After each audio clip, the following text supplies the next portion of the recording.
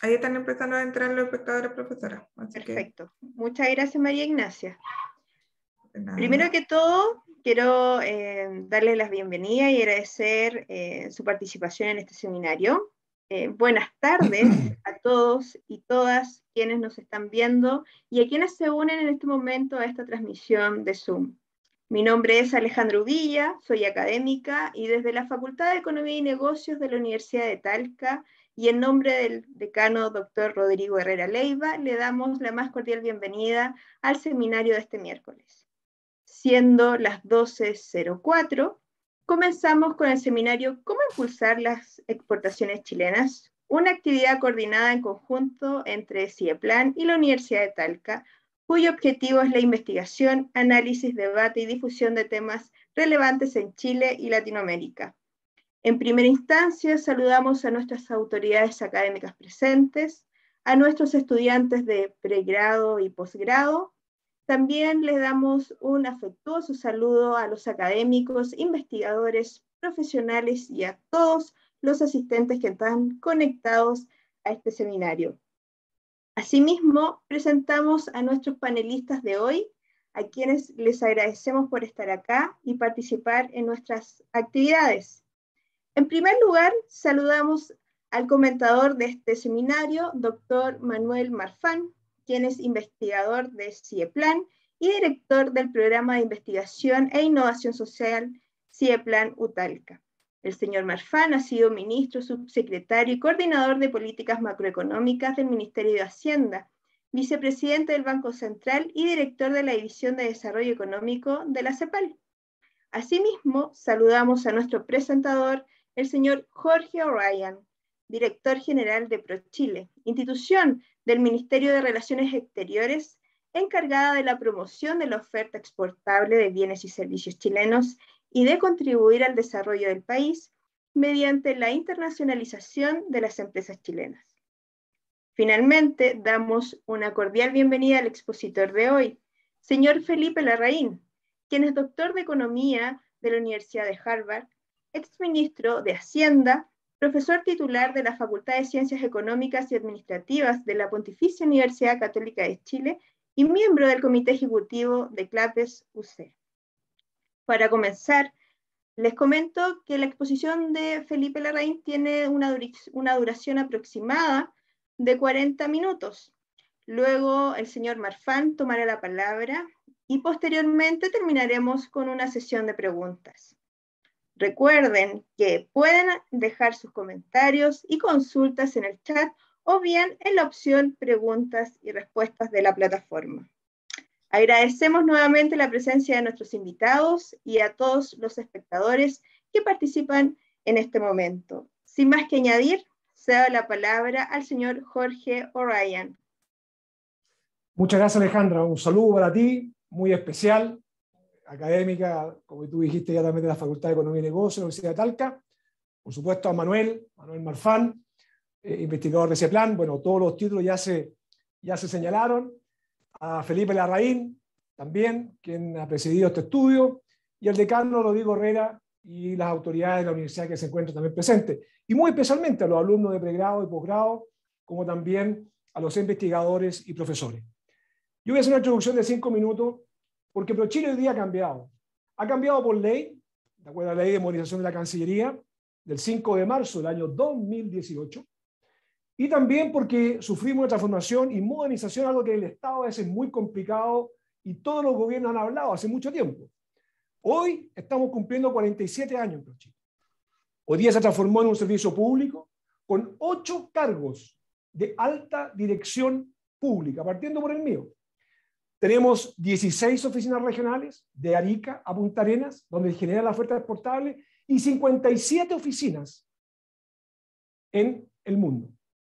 El 2018, como dije, iniciamos un proceso de modernización, basado fundamentalmente en varios pilares. Uno, un comercio sostenible e inclusivo. Hemos creado estos últimos dos años Departamento de Sostenibilidad, una política de sostenibilidad para el país, en materia internacional. Hemos generado un departamento de innovación, donde hemos podido hoy día, a través de distintos programas, con Corfo y Solos, ir a las principales plataformas y ecosistemas emprendedores para Latinoamérica, Europa y ahora estamos yendo al Medio Oriente. Tres, cuando hablamos de un comercio inclusivo, creamos un departamento de mujeres. Más de mil mujeres hoy día empresarias están exportando con nosotros. Lo mismo de pueblo originario, convenios con CONADI, estamos sacando precisamente a empresarios y pymes vinculados a los pueblos originarios a distintas partes del mundo. Y también el comercio electrónico, B2B y B2C, y menos mal que lo empezamos, porque en pandemia, si no hubiésemos tenido esto preestablecido, obviamente no hubiésemos repercutido en las exportaciones como lo estamos haciendo. Y dos, una gestión basada en objetivos, en KPI y resultados, capacitando obviamente sobre todo a nuestro sector que son más de 600 profesionales, a través fundamentalmente de diplomados. 180 diplomados este último año y medio. Y tres, una transformación digital a todo dentro.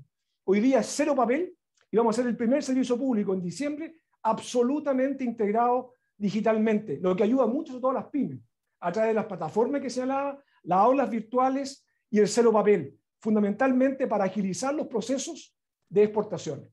Y hemos incluido nuevas áreas de promoción de exportaciones. Ya no solamente lo que tú señalabas, Alejandra, respecto de bienes y servicios, sino que también hemos incorporado el apoyo a las inversiones extranjeras, a las cadenas globales de valor, al turismo, a las energías renovables no convencionales, al hidrógeno verde. Hoy hablamos de la diplomacia del hidrógeno verde a través de 16 mercados que nosotros estamos cubriendo.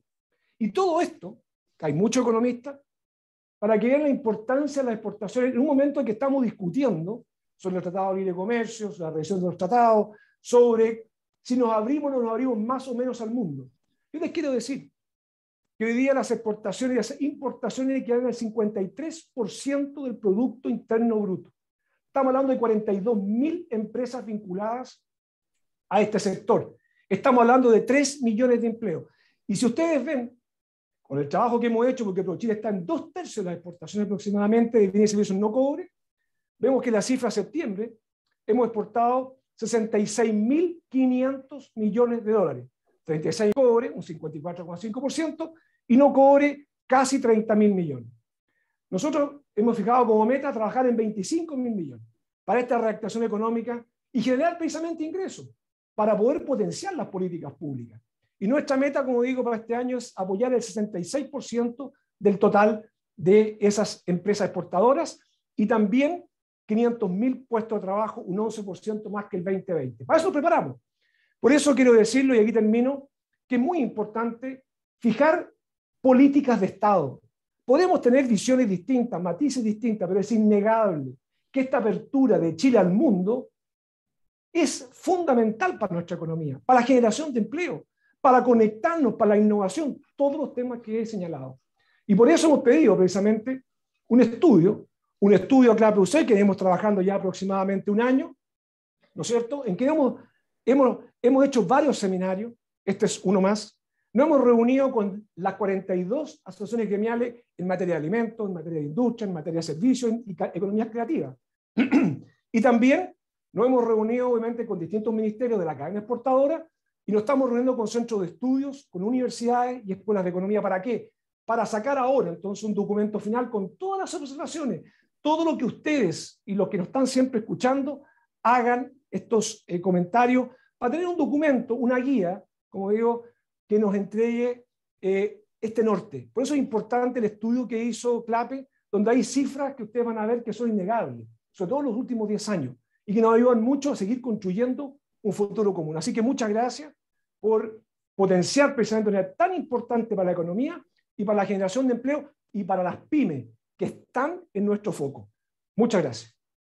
Le quiero ceder la palabra a Felipe Larraín, ya fue presentado, profesor titular, ¿no es cierto?, de la Escuela de Economía de la Universidad Católica, director de CLAPE-UC, ex ministro de Hacienda, quien ha encabezado este estudio junto al equipo de CLAPE. Felipe. Bueno, muchas gracias, Jorge. Yo quiero agradecerle en primer lugar la invitación que nos ha hecho CIEPLAN y la Universidad de Talca, la, FEN, la Facultad de Economía y Negocio de la Universidad de Talca. Eh, bueno, y, saludar a Alejandra, saludar al decano, a Rodrigo Herrera, saludar a los profesores, saludar a Manuel Marfán, que ha sido eh, nuestro eh, contacto en, en eh, CIEPLAN y que va a comentar este, este trabajo, saludar a los estudiantes, a los académicos, a todos los que nos están escuchando. Y, y básicamente, si puedo, voy a compartir pantalla con ustedes. No sé si es que se ve. Perfecto. Sí, se ve perfecto. Entonces, eh, el trabajo que nosotros hemos desarrollado en conjunto con ProChile, porque efectivamente este trabajo lo hemos hecho en Clapes con, con Germán González, eh, pero hemos desarrollado bastante de este trabajo en conjunto con, eh, con eh, ProChile, ¿no es cierto? Y, básicamente con sus equipos, con la gente que, que trabaja y que trabajan con, como decía Jorge, con las pymes exportadoras, con, tratando de impulsar nuestras exportaciones en el mundo. Y nosotros partimos por un diagnóstico lo primero es, uno eh, entra a un tema y quiere hacer un diagnóstico de este tema, porque es muy importante para poder mirar cuáles son las conclusiones a las cuales va a llegar, cuál es el análisis, cuáles son las propuestas. Lo primero es partir de un diagnóstico. Y el diagnóstico es que nuestras exportaciones experimentaron un crecimiento muy sólido, muy sostenido, desde la segunda mitad de los años 80 y hasta la crisis financiera global que se inició en el año 2008. Aquí se ve clarito, ¿no es cierto?, un periodo de muy fuerte expansión de las exportaciones hasta la crisis eh, financiera global. Y esta crisis financiera global, ¿no es cierto?, trae un retroceso a las exportaciones. Un retroceso que es bastante claro y, y que es evidente en los números en los cuales estamos mirando. Y bueno, esto se ve tanto en nivel, en volumen, porque básicamente entramos, se nos corrió.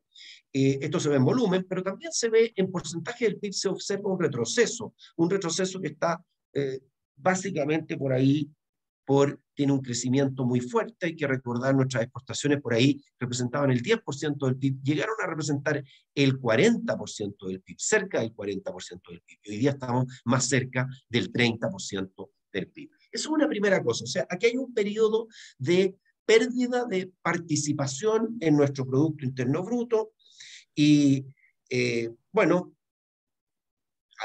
adicionalmente, ¿no es cierto?, eh, un estancamiento o pérdida de dinamismo en el volumen. Eso es una primera, primera antecedente. Segundo antecedente. Esto se ve y se produce especialmente a partir de 2015 aunque no es generalizada. Aquí en 2015 tenemos 2020, pero eh, nosotros llegamos por ahí el año 2014, 2015, hay una caída, una recuperación, otra caída que hace que el promedio de crecimiento del año 2020 es un año bastante anómalo con la pandemia, pero el promedio de crecimiento anual del volumen de exportaciones es del orden de 0,2% entre 2015 y 2019. Ahora, esto se ve más en el sector minero, algo en el sector industrial y no se ve en el sector agropecuario, silvícola y pesquero. Eh, este es un sector que de alguna manera evita este efecto eh, no, es, no es generalizado, pero, pero sí está afectando a nuestro principal eh, sector exportador, que es la minería. Entonces, la otra pregunta que es importante es mirar si es que esto es algo que es generalizado a nivel de países. Y, bueno, ustedes pueden pensar que tenemos que buscar un grupo de países que sean comparables a Chile. ¿No es cierto? Aquí tenemos el grupo, la experiencia, ¿no es cierto?, en una muestra de países comparables. ¿Por qué comparables? Son países pequeños altamente dependientes de recursos naturales, hay países desarrollados, está aquí Australia, Canadá y Nueva Zelanda, pero también tenemos México, Perú y Colombia, que son países en vías de desarrollo. Lo que nosotros observamos es que Chile, que está en rojo eh, en, este, en este gráfico, tiene un desarrollo que por ahí llega al año, en el volumen de exportaciones, al año 2014-2015 y luego está bastante estable.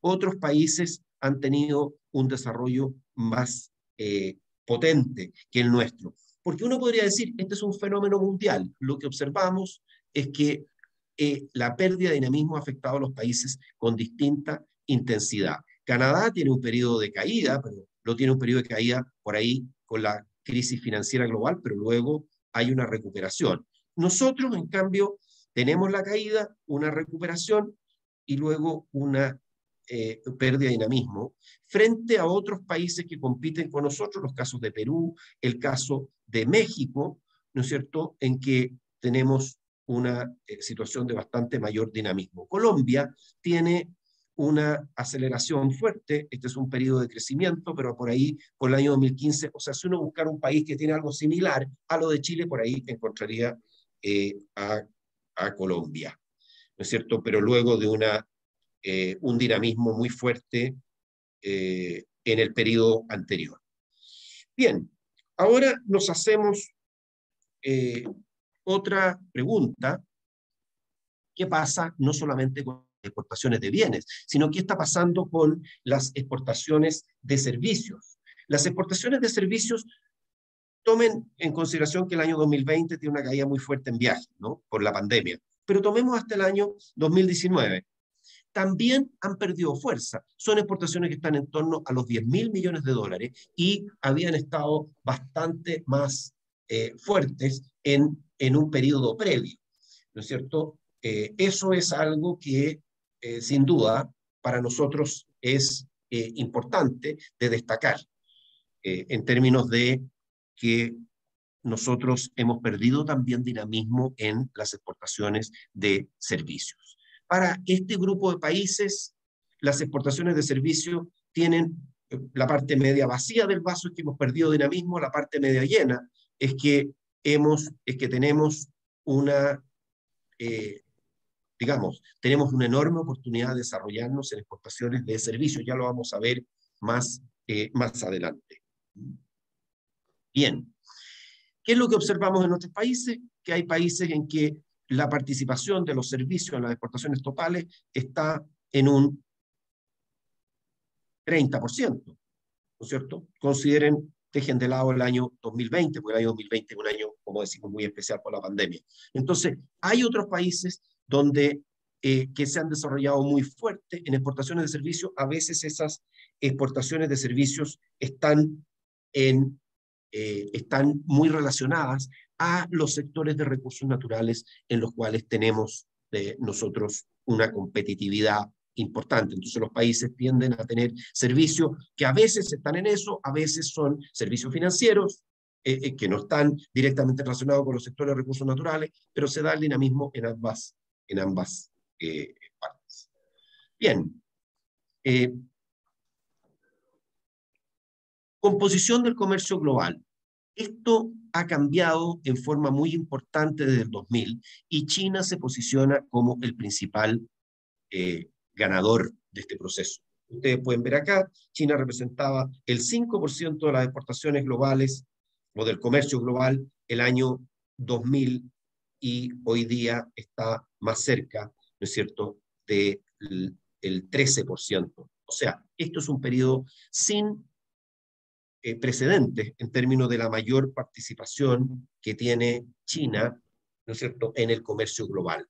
Y junto con eso, hay países que pierden participación, como son los casos de Estados Unidos. En general, todo el resto de los países pierde participación. Alemania, eh, es China el que crece, Alemania, Japón y Estados Unidos pierden participación, algunos casos más fuertes, en otros casos más, eh, más débil esa pérdida de participación. Para nosotros, en el caso de Chile, Chile representa menos del medio por ciento del comercio global. Nosotros estamos en torno al 0,4 del comercio global. Eso es eh, para tener una idea de qué es lo que significa nuestro, nuestro comercio con respecto al comercio global mundial.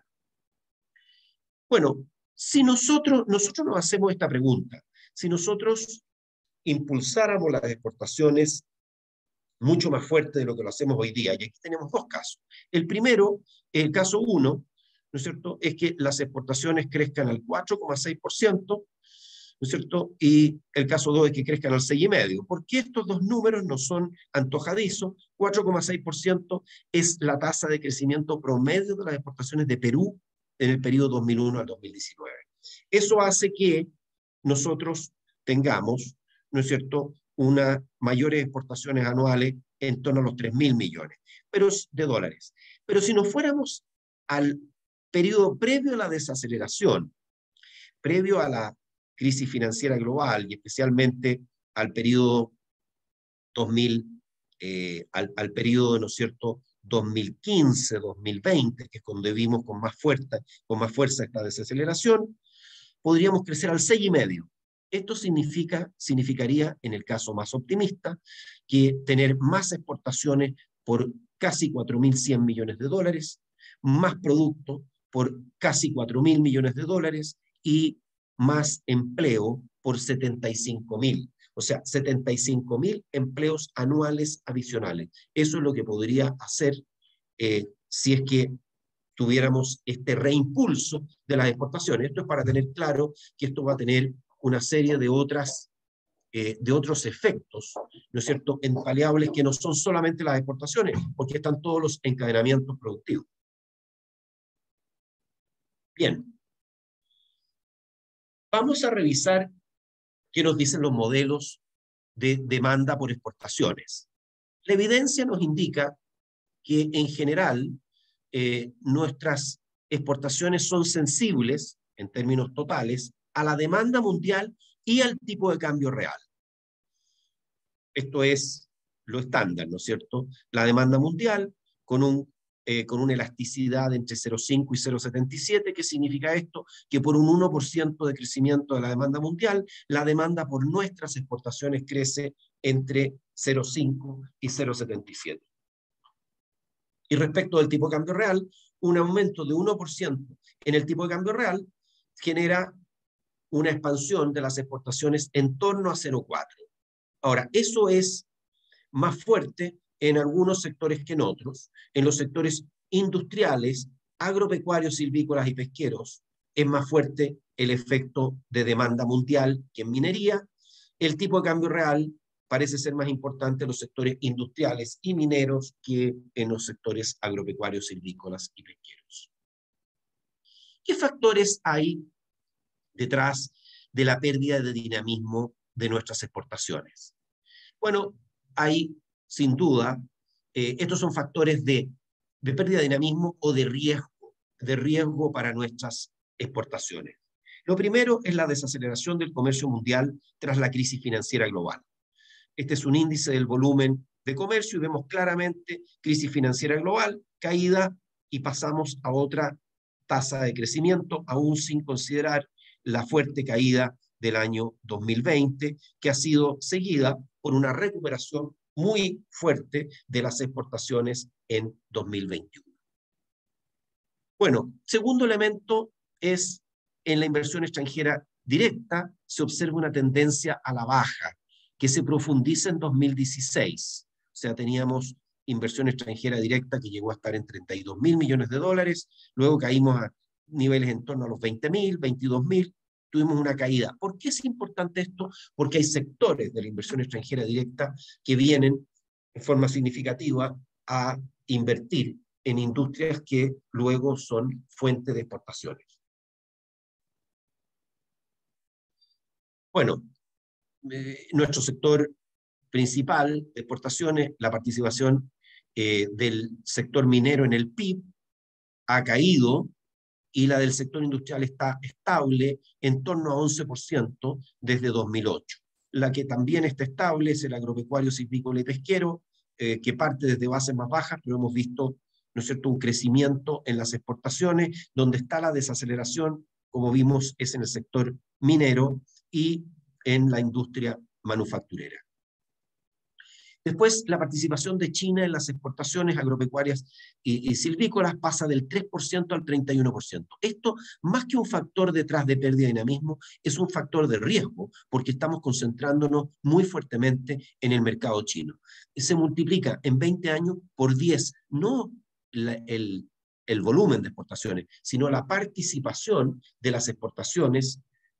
Uf, ver, un minuto.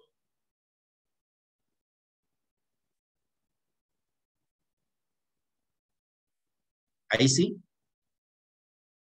Ahí sí. Sí, se ve bien. Ya.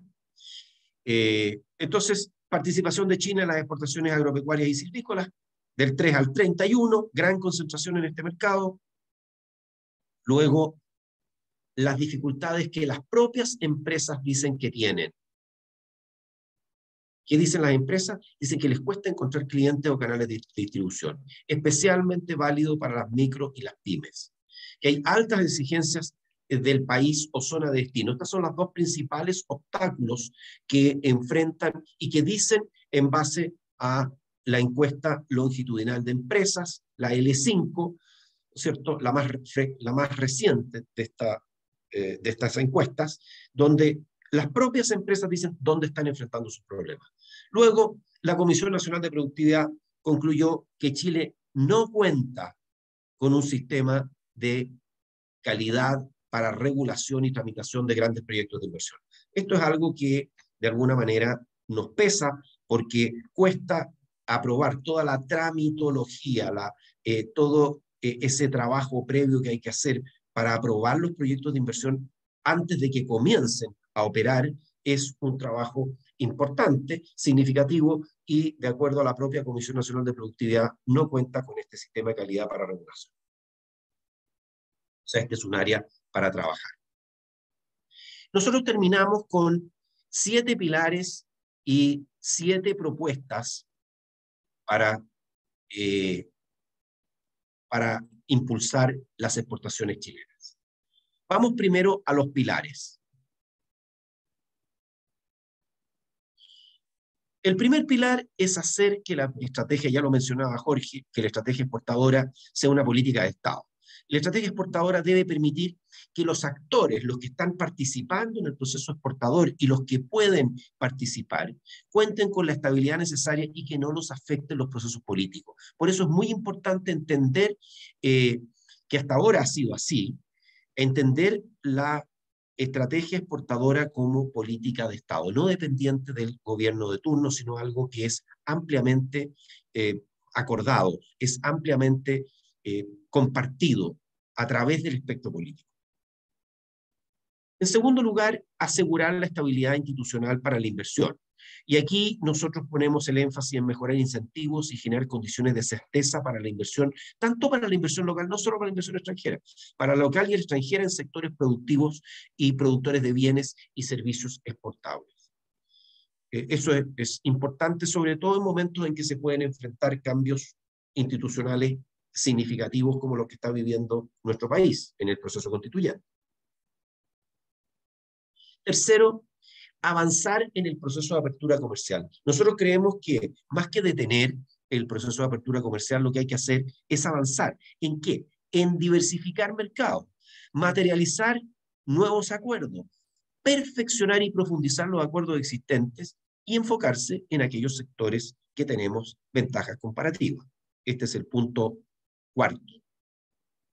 Perdón, tercero. El cuarto. No podría, aunque es un elemento que trasciende a la acción de un actor en particular, procurar la competitividad del tipo de cambio real. Y eso fuerza, entre otras cosas, a contener la dinámica del gasto público.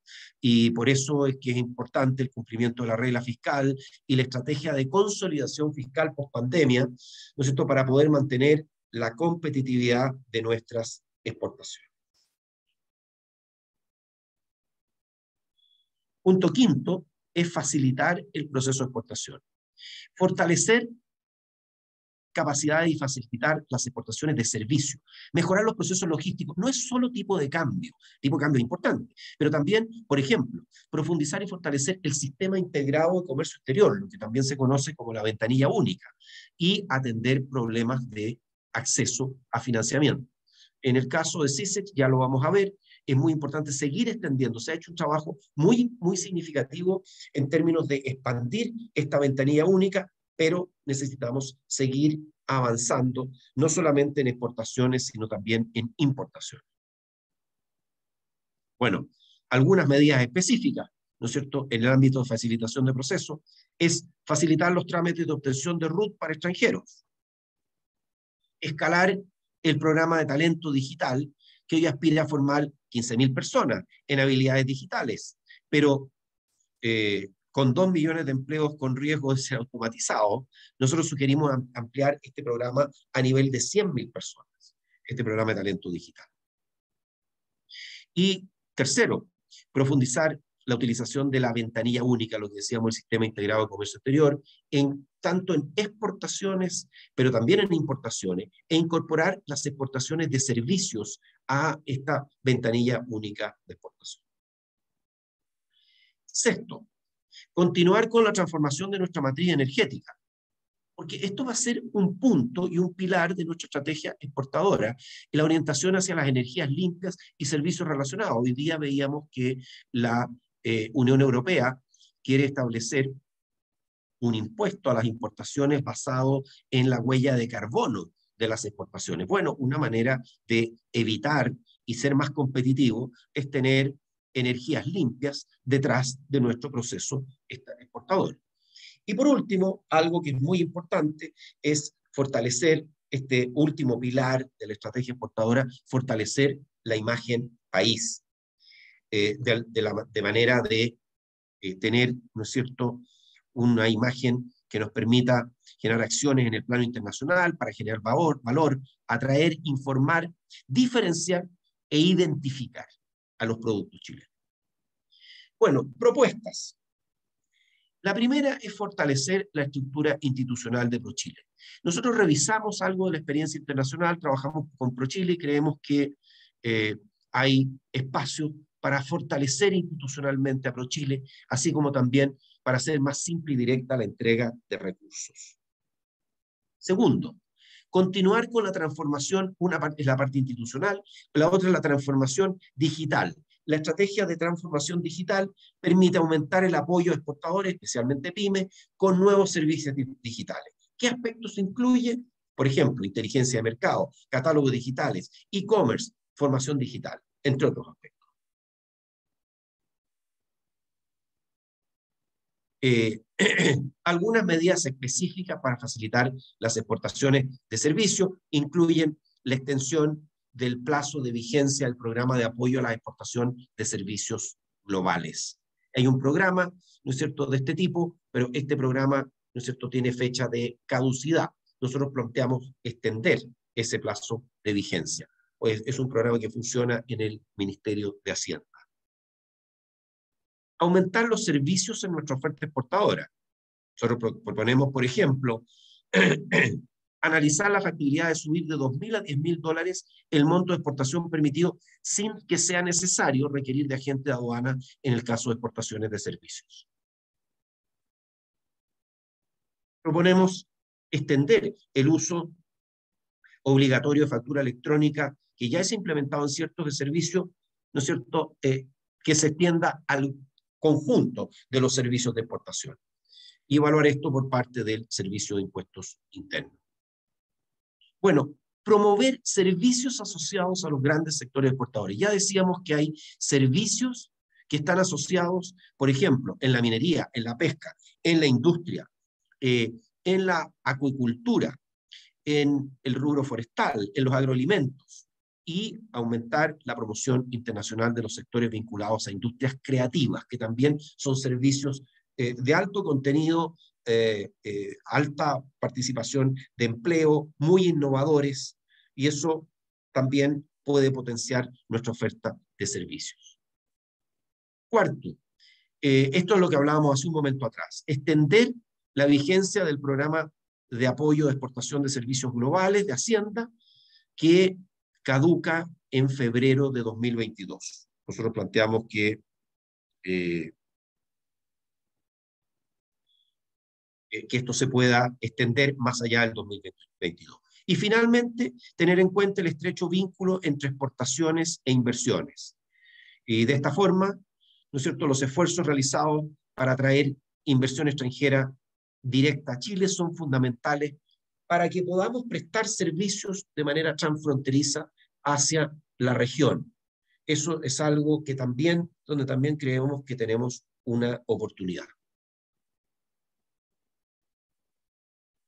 Bueno, aprovechar las ventajas de Chile como potencia agroalimentaria global. ¿Y esto porque, dada la creciente demanda mundial, se sugiere, sugerimos aprovechar la alimentación saludable y aumentar la promoción de los productos nacionales. Nosotros hemos visto estimaciones que hacia 2050 habrá un 50% de mayor demanda eh, anual de alimentos gatillada por el incremento de la población. Esto nos da una oportunidad a nosotros como país. Bueno, diseñar e implementar un plan de posicionamiento e imagen internacional para la industria sobre los, ejes de oferta país saludable, saludable, inocua, sostenible e innovadora. Promover servicios asociados a los grandes sectores productores nacionales. Esto lo habíamos comentado, pero minería, industria, pesca, acuicultura, forestal, agroalimentos,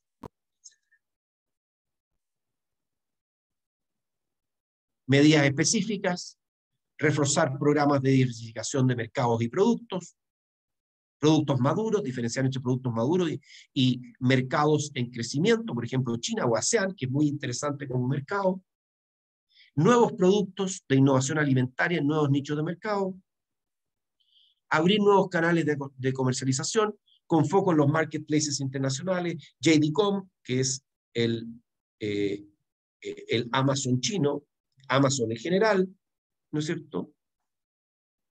Profundizar, mejorar las condiciones de acceso a la oferta exportable nacional en mercados tales como China, India, Rusia, Indonesia y Corea. Por ejemplo, con India tenemos un tratado muy limitado y hay un esfuerzo que hasta el momento no ha tenido frutos de poder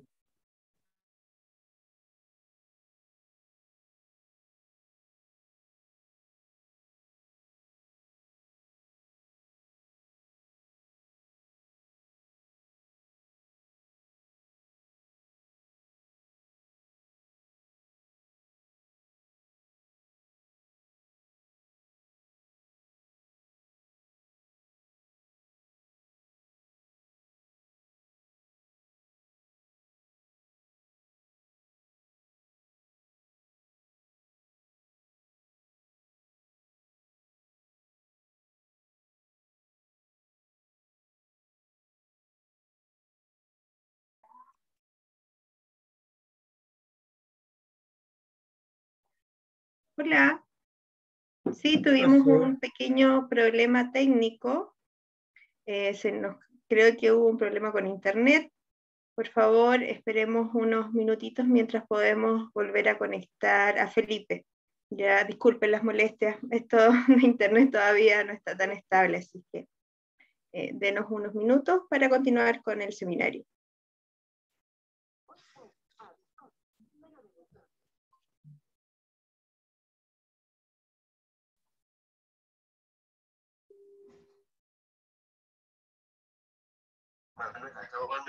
Que se desconectó. Sí, sí, tienes que volver a conectarte, Felipe. Nos pasó a todos, ¿ah? Fue una caída de internet. Nos pasó a todos que nos desconectamos. Ah. Tienes que volver a conectarte.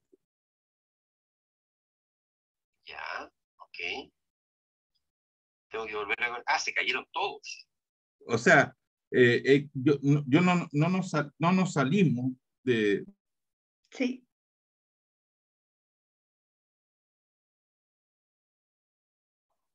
Por favor, rogamos a esperar unos minutitos. Estamos eh, trabajando en la conexión. Felipe está nuevamente intentando conectarse. Ahí le estamos recuperando. Eh, Manuel, eh, ya está conectado Felipe. Felipe, ¿me escucha? Está con mute.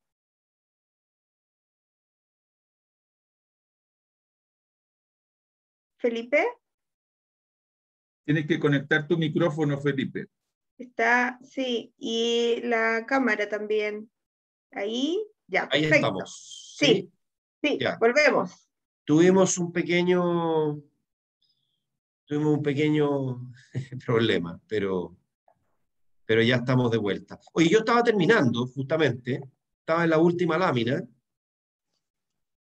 No sé si se alcanza a ver bien. Sí, se ve perfecto. Ya. Bueno, las últimas propuestas, ya habíamos hablado de la quinta, ¿no es cierto?, que es focalizar las exportaciones en mercados priorizados con mayor potencial de crecimiento. Luego, preparar a los exportadores para conocer y comprender las regulaciones y barreras no arancelarias en el país de destino. Es algo que sale mucho en las encuestas que se le hacen a los propios exportadores, en que, bueno, básicamente se está planteando que ellos enfrentan dificultades y aquí hay un rol muy significativo, muy importante para ProChile eh, y, eh, y también para eh, el resto del sistema exportador nacional.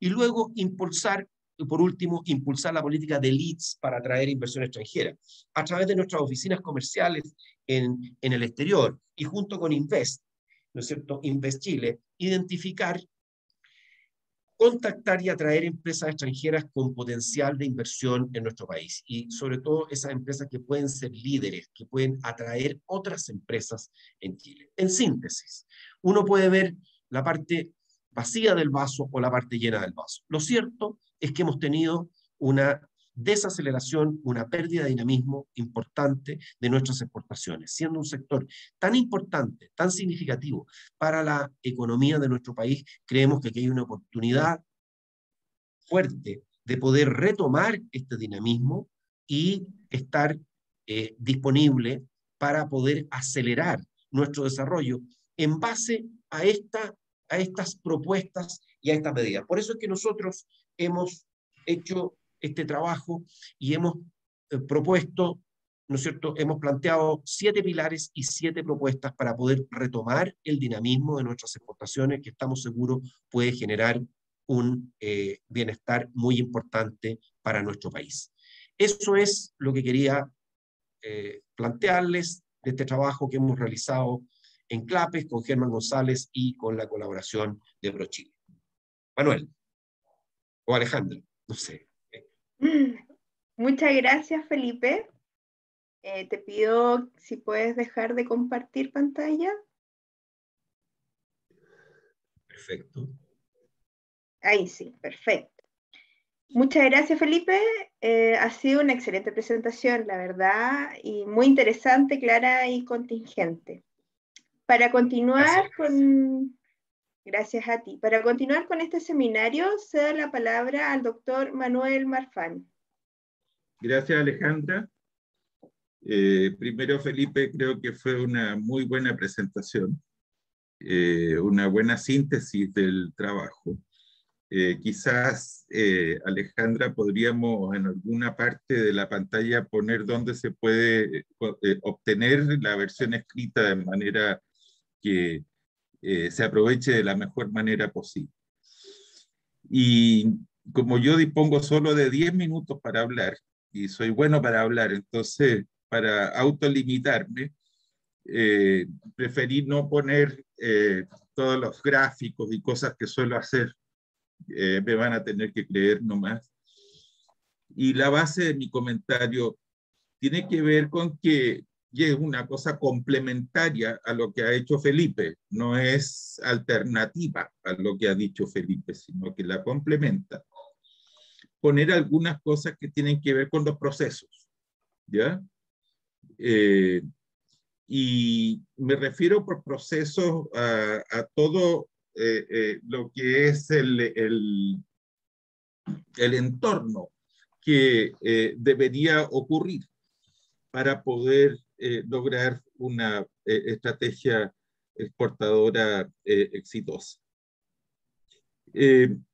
la primera idea es que todos los países, todas las economías que han logrado alcanzar el desarrollo con posterioridad, posterioridad a la Segunda Guerra Mundial, sin excepciones, son todas economías donde el componente de la competitividad internacional ha sido fundamental para poderlo lograr forma parte intrínseca del camino para lograr ser desarrollada. Desde, desde eh, eh, Italia y Japón, para poner las primeras que lo lograron eh, post Segunda Guerra Mundial, pasando posteriormente por economías como Irlanda, España, y la última de todas ellas, Corea del Sur, eh, en todos esos casos, las exportaciones y la estrategia exportadora, una estrategia exportadora exitosa fue un ingrediente fundamental del el camino al desarrollo económico. Eh, y por lo tanto hay un elemento que está fuera del contexto de las exportaciones, eh, que va más allá, que es importante de considerar. Lo segundo es que todos los países, incluyendo los primeros países que eh, eh, alcanzaron el nivel de desarrollo, eh, tuvieron una primera etapa como la que tuvo Chile hasta hace poco tiempo atrás, donde la fuerza principal del crecimiento, del desarrollo y del avance es la invasión de la modernidad a todas las esferas de la economía la modernización de la agricultura, la conexión de las carreteras a lo largo y ancho del país, la conexión de la internet, de las comunicaciones, el acceso al agua, etcétera, del agua potable me refiero. Eh, eh, todo ese proceso de modernización es un proceso que nunca te termina de completar, es cierto, pero eh, eh, el paso de donde estábamos al paso donde eh, hoy día estamos fue un camino tremendamente rápido y que se asocia también a procesos de crecimiento muy acelerado, del construir más malls, el construir más, el, el, el acceso a la modernización en todas partes del país, obviamente que logra hacer. Pero eso tiene un límite y ese límite termina cuando la fuerza de trabajo empieza a hacerse escasa cuando eh, empieza, ya no existen esos contingentes en la, agricultura ni en, ni en, el sector informal urbano que se puedan contratar fácilmente para los procesos de crecimiento y ahí el foco es la productividad. Y todos los países que hoy día son desarrollados, cuando alcanzaron esa, esa etapa, eh, pasaron a la siguiente etapa, que es una etapa que es la construcción de cadenas de valor. Eh, eso es lo que se llama la segunda guerra, la segunda, la segunda revolución industrial, que tiene el típico prototipo de una armaduría lleno de, por una parte, de, proveedores eh, para la armaduría, toda una red de distribución para entregarlo y eso hoy día se llama eh, cadena de valor, pero esa es una cadena de valor que ha evolucionado. Eh, la tercera revolución industrial, que incluye la tecnología la información y las comunicaciones, la, sociedad del conocimiento y todo eso, fue incorporarle más eslabones a esta cadena de valor, eh, eh, particularmente de servicios, que tiene el foco principalmente en, en, en ponerle inteligencia y ahí el rol de las universidades pasó a ser en todos esos países fundamental también en el proceso de eh, crecimiento y de estímulo de las exportaciones. En países como Suecia, por ejemplo, eh, eh, el, el, tema de cómo las universidades se involucran en los procesos productivos y con su entorno es un tema que está en el escritorio del primer ministro, no en el escritorio del ministro de Educación. Eh, así la importancia que tiene, cosa que en Chile no hemos hecho. Ninguno de esos dos pasos, ni menos aún el que estamos viviendo hoy día con todos los temas de eh, incorporar la Internet y la robótica a los procesos productivos, que es añadirle aún más, más, más eh, componentes a estas cadenas de valor. De acuerdo a un estudio de la OCDE, Chile es el país que tiene, que tiene el mayor grado por lejos pero que por muy lejos el mayor grado de integración vertical en sus procesos productivos, es decir, donde no hay una cultura de generar cadenas de valor al interior del país. La única que funciona relativamente moderna en Chile es la cadena de exportadora de la agricultura, especialmente de eh, eh, las frutas y todo eh, eso. Y pongo un ejemplo muy simple de qué es lo que esto significa. Eh, en una cadena de valor todos dependen de todos. Eh, si una parte falla en la cadena de valor, la cadena de valor entera fracasa y por lo tanto está en el interés de cada una de las partes que el resto también funcione y que yo funcione, los demás se encargan de empujarme para que así sea. A comienzo del año 2019, un paro de trabajadores eventuales en, el puerto de Valparaíso, no sé si ustedes lo recordarán, fue hace no tanto tiempo, pero parece mucho porque ha pasado demasiado en Chile. Eh, y el puerto de Valparaíso partió negociando con ellos mirando solamente los intereses comerciales del puerto. Eh, y la cadena de la, de la fruta eh, presionó diciendo que, por momento, momento, aquí somos una cadena de valor completa, tiene que mirar los intereses de la cadena de valor completa, eh, que fue lo que finalmente ocurrió. Esa lógica que tiene, de, que en el fondo es una lógica de la cooperación dentro de las cadenas de valor, es un proceso en las exportaciones, en la modernización de las exportaciones fundamental eh, desde desde hace casi 100 años eh, eh, en los países que en aquel entonces eran desarrollados y obviamente en los que se van incorporando tienen que desarrollar aquello. Y hoy día, eh, con todo este tema de la Internet y la robótica, el mundo está cambiando aceleradamente. de las 10 empresas más grandes del mundo, medida por su valor bursátil, de estas 10 resulta que solamente 8 hay, hay ocho que son plataformas digitales, solamente dos no lo son.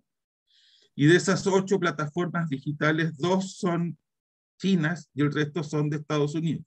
Ya no hay empresas europeas entre las diez más grandes, no hay empresas japonesas entre las diez más grandes.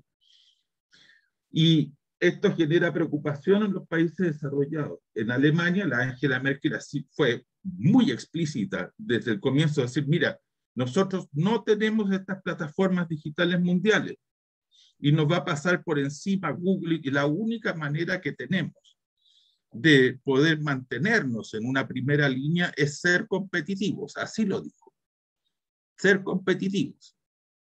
Para Alemania eso significa que hoy día es el país que tiene el superávit de cuenta corriente más alto del mundo, por lejos, mucho más que China, que bajó ya al cuarto lugar. El segundo es de Japón, son países que desde la crisis del año 2008 al 2010 han basado su estrategia en ser competitivos. Y el tema de ser competitivo es un tema muy relativo, porque si ellos tienen esos superávit de, de cuenta corriente, necesariamente al otro lado el resto tiene los déficits, porque todavía no tenemos negocios con el resto del mundo. El ajuste en la cuenta corriente de los países desarrollados desde el año 2007-2008 hasta inmediatamente antes del coronavirus es de un millón de millones de dólares, un trillón en inglés. Eh, y el grueso de ese ajuste ha ido a parar a eh, eh, las economías en desarrollo. Yo estaba convencido en ese momento que la próxima gran crisis que va a tener el mundo es una crisis de cuenta corriente de balanza de pagos de los países en desarrollo, porque el deterioro ha sido enorme en América Latina también. En Chile no tanto, eh, pero en Chile no tanto porque el crecimiento cayó, las exportaciones se desaceleraron, tuvimos una década que crecieron sistemáticamente, como señaló Felipe, por debajo del Producto Interno Bruto. Y esto no nos ha generado un problema de balanza de pago porque el crecimiento también ha sido muy bajo. Entonces, eh, lo que yo estoy diciendo es que esta estrategia de generar de, de, de, lograr dar los saltos al desarrollo. Tiene ingredientes de, de, cómo que se requieren resolver en estos procesos, porque la formación de cadenas de valor no es espontánea en los mercados. El falla, la falla, gran falla que tiene es la fallas de coordinación y las fallas de coordinación solamente pueden ser resueltas o la manera que se ha inventado para resolverlas es a través de la acción pública, ¿ya? No para que el sector, el Estado se entrometa en procesos productivos, sino que en organizar eh, eh, eh, al sector privado de una manera que pueda entrar a cooperar entre ellos, lo cual significa renunciar a parte de la independencia, porque yo dependo de la cadena de valor pero los demás también dependen de mí, ¿no es cierto?, de manera de ser exitosa. Son formas mucho más complejas de producción que en Chile nosotros no hemos avanzado prácticamente nada. Eh, y eh, la cantidad de ejemplos que tengo en todos los países, desde Corea, Italia, Japón, etcétera, son lo tengo todos, digamos. Eh, no lo tengo el tiempo para desarrollarlos acá, pero en todos ellos la participación del Estado a propósito de generar estrategias, que es el, foco del documento, forman parte integral de los procesos de modernización y donde las exportaciones o la capacidad de exportar la competitividad del país es la principal beneficiaria de este tipo de esfuerzos del Estado. Entonces, Felipe, eh, y con, esto, con esta reflexión termino, eh, eh, yo creo que el, el, trabajo ganaría mucho si uno, además de todo lo que se dice que está muy bien, yo estoy de acuerdo en todo, uno pusiera un foco en, grandes, en los grandes temas eh, que tienen que ver con el salto a la modernidad el salto al desarrollo, donde las exportaciones juegan un rol fundamental, lo han jugado en todas las economías que hoy día son desarrolladas, especialmente las, las de desarrollo tardío, que sería el caso nuestro. Y cómo hay políticas públicas que no necesariamente significan intervención o pick the winners o cosas de ese tipo, ¿no es cierto? Que en el caso de Chile han brillado por su ausencia. Al principio porque no eran necesarias, porque estábamos en un proceso distinto, pero desde que esa, desde que esa etapa se agotó, eh, no hemos iniciado todavía, eh, y llevamos 15 años perdidos, no hemos iniciado todavía la etapa eh, siguiente. ese sería, disculpen lo, lo atolondrado del, del, del, del del comentario, pero para mi juicio es un tema que es muy de fondo y muy profundo, que es una oportunidad en este trabajo de poner al menos algo eh, de esto para darle más envergadura. Gracias. Muchas gracias, eh, profesor Manuel, por su intervención. Ha sido aclaratoria, interesante. Y bueno, a continuación eh, quiero comenzar con la ronda de preguntas y tomo la palabra de que me había seguido el profesor Manuel en cuanto a la pregunta que también llegó al chat. El estudio se ha publicado. ¿Dónde puede hallarse? Esta pregunta la dirigimos al profesor Felipe.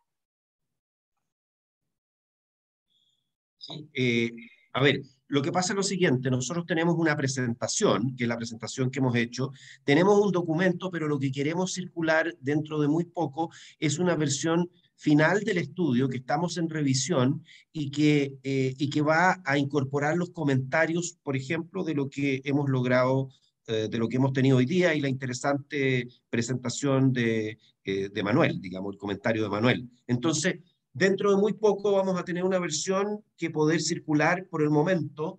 Podemos circular la presentación. ¿Mm? Perfecto. Em, le pedimos si nos puede hacer llegar la presentación para, hacerla circular. Tomaré la palabra. Por supuesto. Em, bueno, sigamos con las preguntas. ¿Cómo ven las exportaciones a futuro ahora que la pandemia ha remitido un poco con la vacunación no sé si el profesor Manuel o Felipe se aventuran a responder esto.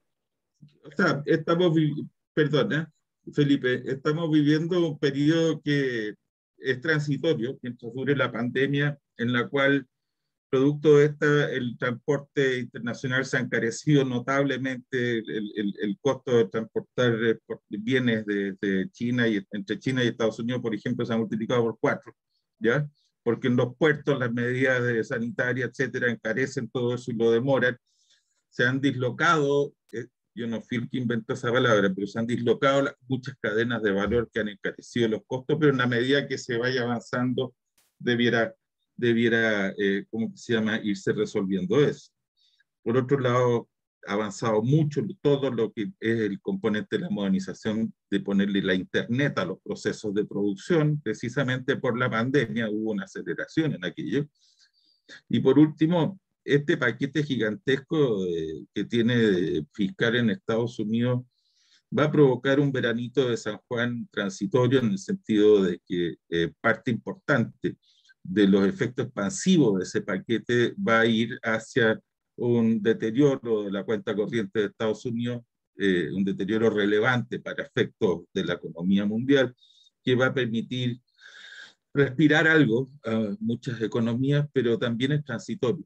las proyecciones que hizo el Fondo Monetario Internacional en el último World Economic Outlook, el de octubre de este año 2021, eh, eh, que tiene proyecciones de mediano plazo también, eh, muestran de que las tendencias que existían, en acuerdo a aquella proyección que existían antes de la pandemia, se retoman una vez que culmine la pandemia.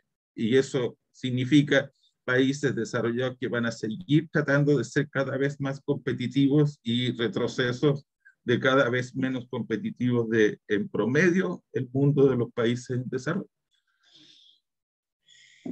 Yo solamente para complementar lo que, lo que plantea Manuel, eh, creo que el tema de corto plazo son los problemas logísticos que estamos enfrentando en materia de nuestras en, en, en, términos de exportaciones en la parte de la oferta. Porque ¿qué es lo que ha ocurrido? Que con las inyecciones enormes de liquidez a nivel mundial se ha expandido muchísimo la demanda.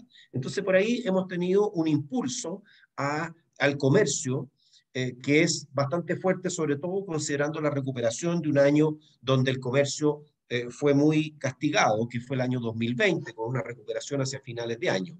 Eh, entonces, eh, ¿y qué es lo que ha pasado?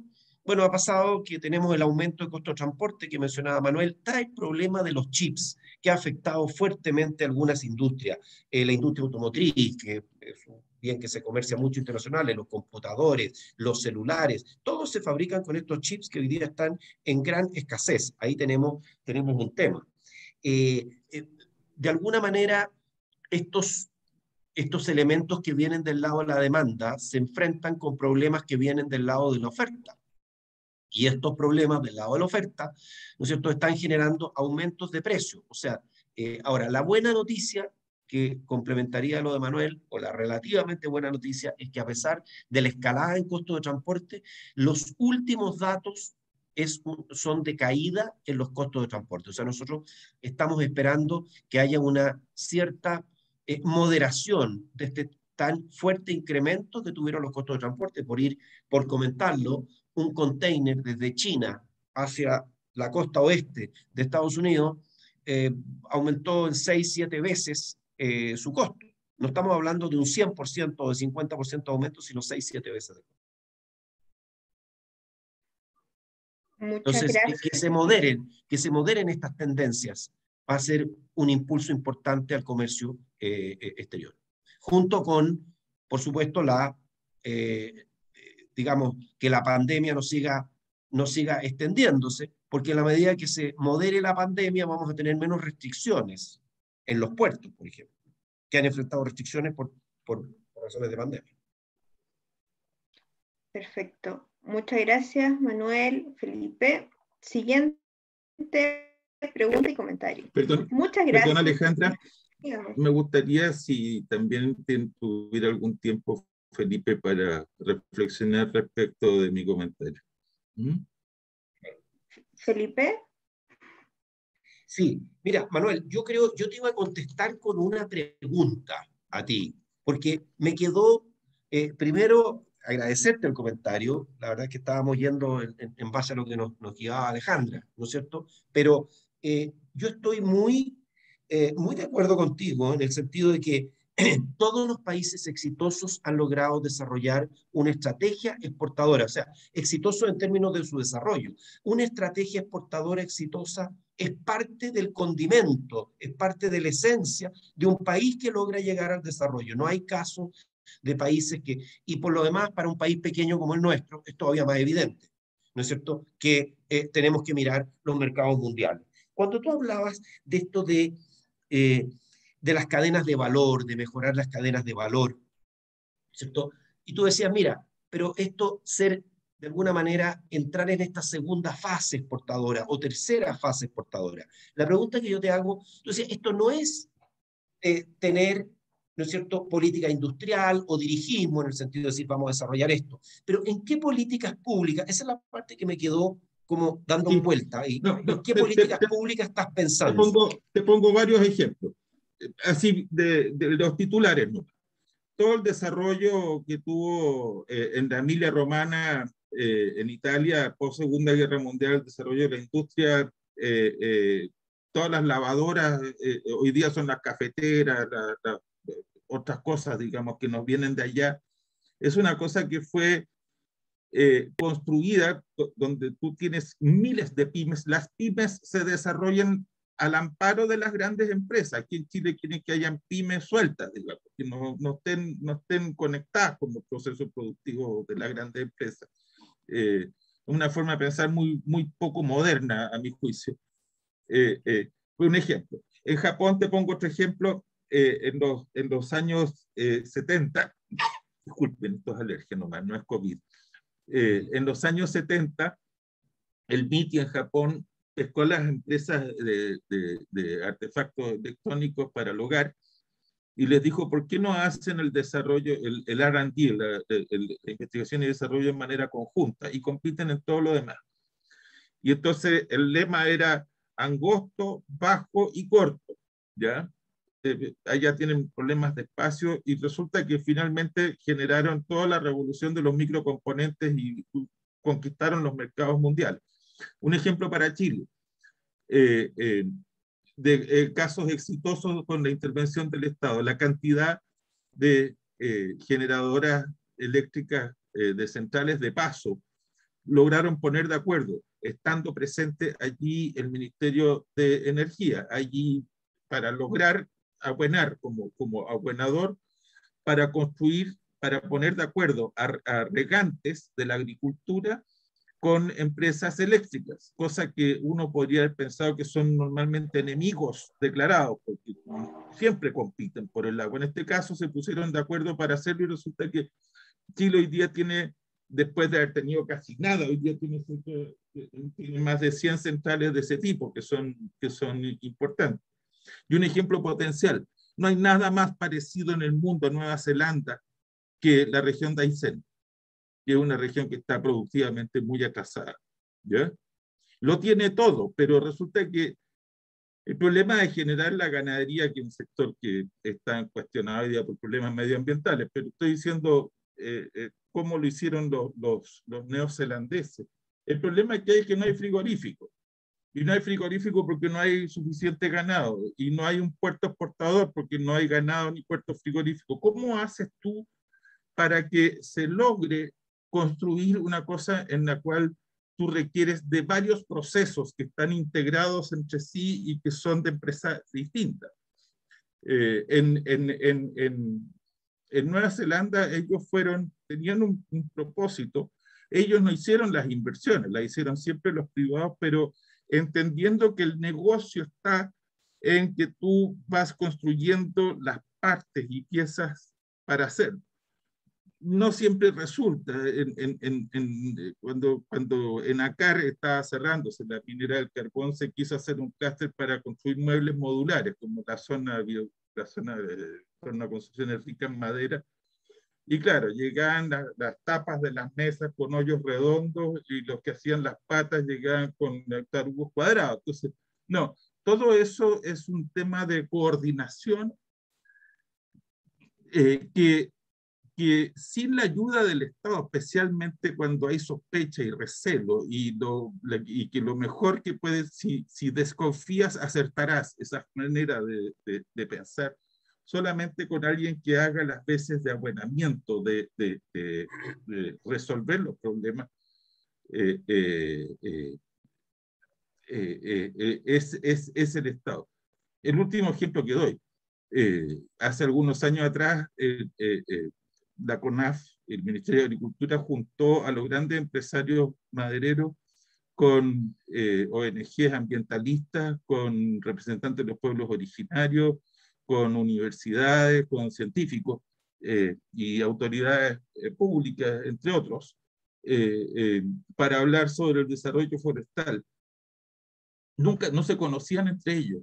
Todos les preocupaba la parte forestal, por cada uno por sus propias razones.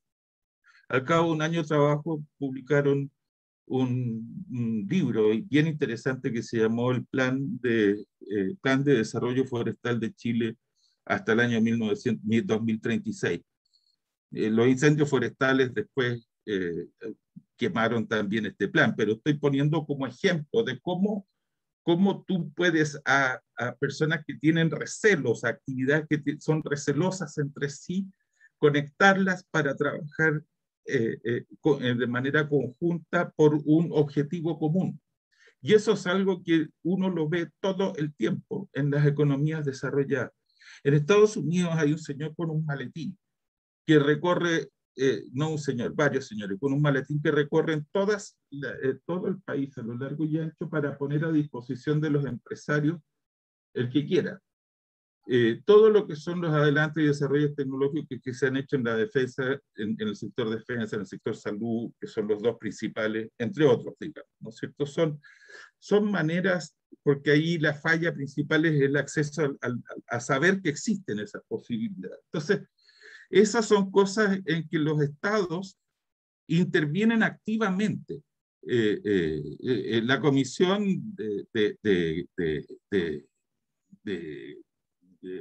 no es la de productividad, sino que la, la, la, la de innovación eh, eh, que hay en Canadá, por ejemplo. Es una cosa impresionante todo lo que ha hecho, simplemente abuenando y prestando asesoría técnica a, eh, al sector privado y también al sector público. El sector público también necesita modernizarse. Entonces, esas son cosas, Felipe, que yo creo que, hay que no hay que reinventar la rueda hay que irse a ver lo que hacen los países desarrollados directamente en, este, en esta cosa. Y, un ingrediente común en todos esos casos es que las agencias encargadas de esto tienen planes estratégicos para poderlo lograr, que me imagino que ProChile también lo tiene, digamos, ¿no es cierto? Porque hay que mirar esto no caso a caso, sino que con un sentido eh, de orientación eh, más de mediano plazo. Disculpen, yo le advertí que era bueno para Muchas gracias, Manuel.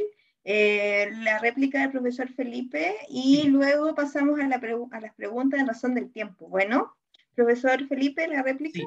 No, yo lo que creo, lo que Manuel está apuntando, todos estos ejemplos son ejemplos de coordinación, básicamente.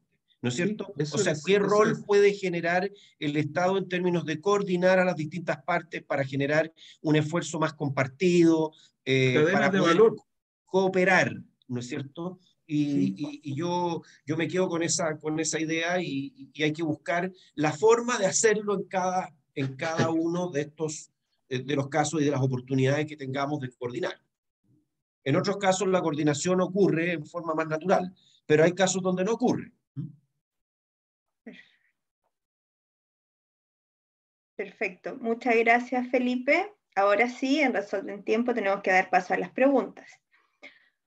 Eh, Juan Ángel consulta, bueno, muchas gracias. Me gustaría saber qué opinan los profesores sobre la posible explotación y exportación de hidratos de metano o hielo de metano, ya que hasta el momento las costas de Chile es considerada la principal reserva mundial de este combustible fósil y principal sustituto del petróleo y gas, principalmente ¿Creen que Chile podría perder la oportunidad de explotar este combustible fósil y convertirse en un país rico como los Emiratos Árabes, ya que la tendencia mundial está dirigida hacia el uso de energías renovables? Ahí no sé quién quiere tomar la pregunta, si Felipe o Manuel. Yo la verdad que sobre el tema del... No tengo conocimiento específico sobre el mercado de hidratos de metano para, para poder eh, contestar esta pregunta. Eh, me parece, sí, que estamos yendo, Chile es muy rico en energías renovables, pero, pero puede que tengamos alguna, alguna, y uno tiende a pensar en el hidrógeno verde. ¿No es cierto?, como un eh, elemento de competitividad, como mencionábamos en el trabajo nosotros, eh, elemento de competitividad de nuestras exportaciones. No sé eh, dimensionar cuánto, qué oportunidad realmente tengamos en hidratos de metano. No sé, Manuel, si tú conoces el tema. No, no lo conozco, pero sí creo que, creo que a, mí me gustaría averiguar un poco más, porque en partida es un combustible fósil el metano, y por lo tanto no es energía renovable eh, y el metano, uno se sabe que es altamente contaminante y uno de los principales causantes del problema de pérdida de capa de ozono. Entonces, en ese sentido, eh, habría que averiguar más. O sea, eh, estoy tirando más bien preguntas que respondiendo la consulta que se nos hace. Muchas gracias a ambos. Cristian González. Eh, agradeciendo la interesante presentación de Felipe, quisiera preguntar si dentro del estudio han considerado cómo fomentar, expandir y fortalecer los niveles de sofisticación de nuestra matriz exportadora, incrementando con ello la productividad y, por cierto, los valores retornos exportados. Eh, Mira, respecto de este tema, nosotros estamos de alguna manera influidos por lo siguiente. ¿Cómo tú diversificas? Porque en el fondo es como diversificar nuestra matriz exportadora. Nosotros miramos los trabajos de eh, los casos en un trabajo anterior publicado en la revista Estudios Públicos de Nueva Zelanda y Australia y encontramos algo que era de alguna manera contraintuitivo. ¿Ah? Y es que estos países no habían llegado al desarrollo diversificando su matriz de exportaciones, sino más bien eh, habían mantenido la concentración de exportaciones, habían desarrollado otras cosas en el camino, pero se habían desarrollado en base a los sectores donde tenían ventajas eh, eh, comparativas. Entonces, yo tengo una aproximación en esto de decir, mira, estupendo que podamos diversificar la matriz la pregunta es cómo son los instrumentos para poder diversificar la matriz más allá de los que hemos planteado, porque eh, todo lo que es eh, tener tratados internacionales que nos permiten acceder a otros países en condiciones favorables nos ayuda a diversificar la matriz productiva, sin duda. Eh, entre otras cosas porque los productos más sofisticados y en los cuales nosotros podríamos diversificarnos enfrentan mayores aranceles en los países sin tener preferencias arancelarias, ¿no es cierto? Es lo que se llama el, fenómeno del escalonamiento arancelario. Entonces, creo que hay varios elementos que uno, dentro de nuestras recomendaciones, que permitirían diversificar, pero pensar también que nosotros podemos, eh, o sea, tenemos que aprovechar las ventajas de lo que tenemos. ¿ah? O sea, por ponerlo de una manera, no creo que nosotros nos vayamos a transformar en un periodo breve de tiempo en un país exportador de bienes de capital, donde nuestra eh, gran elemento, nuestra gran diferenciación sea la exportación de bienes de capital. Pero habiendo dicho eso, creo que hay oportunidades de poder hacerlo, eh, de poder diversificar, ¿no es cierto?, atendiendo a nuestras ventajas competitivas y sobre todo en los temas de servicios. Nosotros creemos que tenemos también en la industria, pero, pero hay unas ventajas importantes en el área de servicios. Muchas gracias, Felipe. Manuel, ¿algún comentario? No, Felipe lo dijo todo. Perfecto. ¿Estás de acuerdo, Manuel? Agustín Rodríguez pregunta, y comenta, sabemos que uno de los argumentos más repetitivos en torno a la economía chilena es dejar de pensar en su actividad exportadora y tomar el camino de la industrialización. Esto pensando en nuestra cultura, como también en nuestros factores e historia en torno al intento de industrialización fallida. ¿Es posible llevarlo a cabo? ¿Qué creen ustedes, Felipe, Manuel? Bueno, yo, yo sobre el tema de industrialización mi, mi punto es lo siguiente, yo creo que eh, algunas de las cosas que hemos planteado ayudan a, la, eh, a esta diversificación, yo no sé si en la industria directamente. ¿ah? Por ejemplo, todo este tema de las industrias creativas, uno podría decir eso es industria, pero en realidad es servicio. La industria creativa es servicio. ¿ah? Eh, todo lo que hemos desarrollado en materia de otro tipo de servicios, ahí creemos que tenemos un potencial muy fuerte. pensar, yo no creo, creo, a ver, no es que no crea. Creo que es más difícil que Chile pase a ser, nosotros somos una potencia minera, eh, somos una potencia alimentaria, ¿no es cierto? Eh, no es fácil que pasemos a ser una potencia industrial. No es fácil que pasemos a ser una potencia industrial. Habido dicho esto, creo que profundizar tratados de libre comercio nos va a ayudar. Si uno, uno mira muchos, eh, hay muchos tratados donde donde nosotros tenemos acceso en condiciones especiales. Yo eh, voy a poner un tema que puede ser más conflictivo o, más eh, eh, discutible, el TPP-11. El TPP-11, hoy día, la aprobación del TPP-11 nos permitiría acceso a mercados en condiciones mucho más favorables de las que tenemos. Y Perú ya lo tiene. Entonces estamos compitiendo con otro país que es país vecino, un país que tiene una estructura productiva bastante similar a la chilena y en la cual nosotros eh, estamos cediendo parte de nuestra ventaja. Así que lo dejo ahí porque creo que Manuel va a querer decir algo, por lo menos lo veo con dos dedos parados. No, sé si eso no, Era una, pose. Muchas gracias, Felipe. Manuel ya está preparado, así que lo que usted diga, cuéntenos, ¿qué piensa? Sí, a ver, yo, yo, yo tengo la impresión que, que elegir a priori un sector que se va a desarrollar y tratar de desarrollarlo sobre la base de, de prácticas proteccionistas, o sea, más bien de cerrarse. Eh, es una estrategia que, que donde ha funcionado más es en los países que tienen un mercado interno grande. No ha funcionado ningún caso que yo conozca en países que tienen un mercado interno chico, ya porque ahí las economías de escala son muy importantes. Y en Chile yo creo que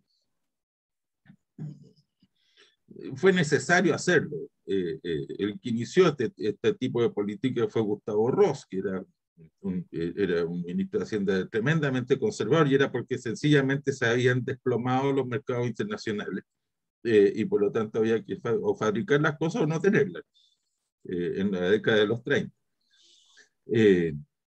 Entonces no creo que sea esa la manera de atenderlo.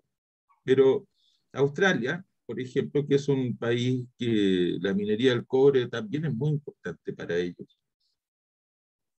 Tiene un vínculo con proveedores de la minería del cobre que es, yo no sé, habría que preguntarle a Patricio Merer la cifra exacta, pero no es ni siquiera 10 a 1. Eh, una vez le pregunté, me dijo, mira, si fuera 100 a 1 no me, no me extrañaría. Es una cosa que se han encargado de generar cadenas de valor interna dentro de lo que es su principal actividad, eh, sin sacrificar eficacia ni eficiencia ni nada, y también eh, en eslabonamientos hacia adelante también de la propia minería del carbón, y, y para eso, y son en general proveedores que detrás de eso hay mucho esfuerzo de investigación y desarrollo para poder desarrollar esa, ese tipo de actividad. Entonces, yo tengo la impresión que, que Chile tiene que, tiene que tratar de mantener, eh, eh, de, de, funcionar aquellas cosas donde claramente lo puede hacer bien eh, y donde lo puede hacer bien, donde tenga ventajas comparativas en el tiempo. Incluye muchas cosas que no hemos desarrollado por fallas de coordinación, como dijimos en algún argumento anterior, y en otros por otro tipo de fallas de, coordinación que tiene que ver más bien con desaprovechar el tremendo poder de compra que tiene la gran minería del cobre para desarrollar una capacidad eh, eh, buena de proveedores eh, a nivel doméstico.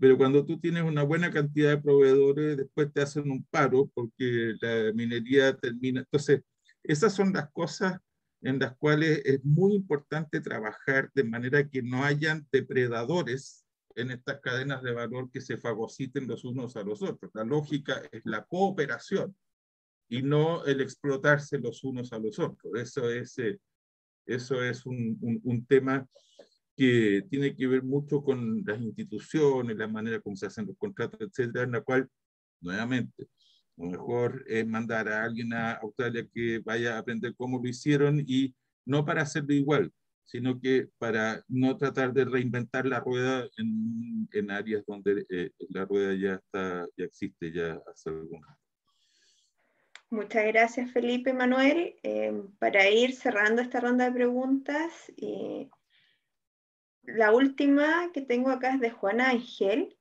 y con esta pregunta terminamos. Tengo otra pregunta para los profesores, por favor. El capital humano es clave en la productividad y de exportaciones, pero ¿creen que Chile tiene su capital humano preparado para enfrentar la disrupción de la industria 4.0? En lo personal, en general creo que no. ¿Cómo Chile podría abordar este shock tecnológico sin generar una transición del conocimiento que afecte negativamente al empleo, destruyendo trabajo? Donde yo creo que es algo que veíamos lejano, 10 a 20 años, pero creo que la pandemia ha acelerado súbitamente este cambio estructural de las habilidades requeridas para el nuevo empleo. ¿Cómo el Estado podría hacerse cargo de este problema? Gracias. Bueno,